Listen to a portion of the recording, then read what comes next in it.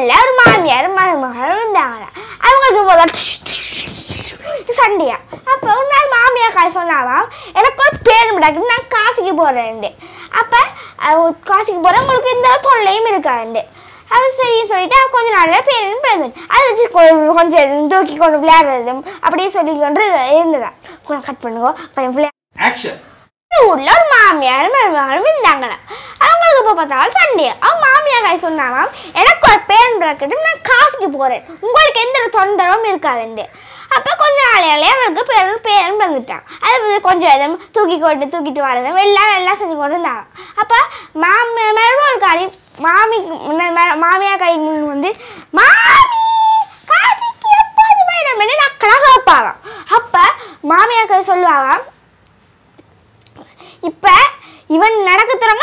நான் காசுக்கு போகிறேன் கொஞ்ச நாளே எனக்கு தெரியும்? அப்புறம் மாமி என்று இழுப்பாவா. சொல்லுவா மாமி இழுக்க. இவன் வந்து படித்து பட்டதாரியாகட்டும் நான் காசுக்கு போகிறேன் அப்போ அவன் படித்து பட்டதாரி நல்ல வேலைக்கும் போயிட்டாராம் அப்போ அவள் மரு மாமியார் மருமக்காரி என்னது மாமியார் போய் இப்படி நிற்பாவான் அப்ப மாமி என்று சொல்கிறதுக்கு இடையில சொல்லுவாங்க நீங்கள் என்ன சொல்ல போகிறேன்னு எனக்கு தெரிஞ்சிச்சு இவன் வந்து இவனுக்கு ஒரு கல்யாணம் இவனுக்கு ஒரு கல்யாணம் மாதிரி உனக்கு ஒரு பேரம் பிறகு நாங்கள் காசுக்கு போகிறோன்ட்டு ஆனால் இவன் அது வரைக்கும் காசுக்கே போகலையா? அப்புறம் அவனுக்கு கல்யாணம் ஆகி பேரும் பிறந்துட்டான். அப்போ அவ கேட்டுட்டா சொன்னாவன் மாமி என்னளுக்க சொல்லுவான் இப்போ உனக்கு மருமகள் வந்துட்டா. இப்போ நீ மாமியார் ஆகிட்ட. இப்போ அவளை முன்னாடி இதே கல்வி தான் கேட்க போகிறா வா ரெண்டு பேரும் சேர்ந்தே போவோம்னு கையை பிடிச்சி இழுத்தாங்க